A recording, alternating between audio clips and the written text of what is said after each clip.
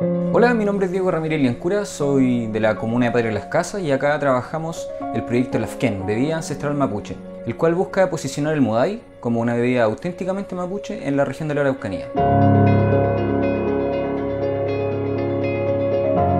El Mudai es una bebida que se puede hacer de distintas materias primas, de maíz, de quinoa, de piñón, de arveja, de trigo, pero eso también eh, está radicado en el lugar de origen de la persona. Porque, por ejemplo, un pehuenche o una pehuenche está más familiarizado con hacer el mudai de piñones, porque es lo que tiene a su disposición. Sin embargo, hacia la costa, nosotros los lafkenche acostumbramos a hacerlo con trigo, con maíz o con arveja. Entonces, bajo una misma fórmula, con distintas materias primas, podemos hacer mudai con distinta pertinencia territorial.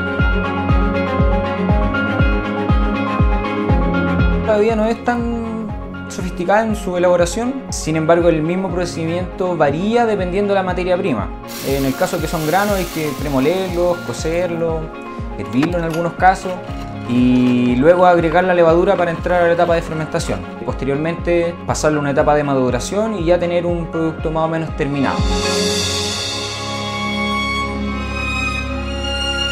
Con el premio adjudicado nosotros buscamos mejorar eh, un poco la parte de equipamiento, tener también materias primas para trabajar y el grueso del financiamiento lo queremos gastar en un vehículo de transporte, porque eh, tenemos claro que nuestro producto lo tenemos que distribuir y tenemos que llegar a ferias y a puntos de venta.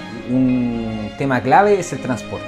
No hemos dejado de buscar instancias para poder mejorar nuestra propuesta y por ese también ímpetu que tenemos nosotros para, por un lado, desarrollar investigación, pero por otro lado, mantener nuestras raíces, es que nos creíamos merecedores de este premio.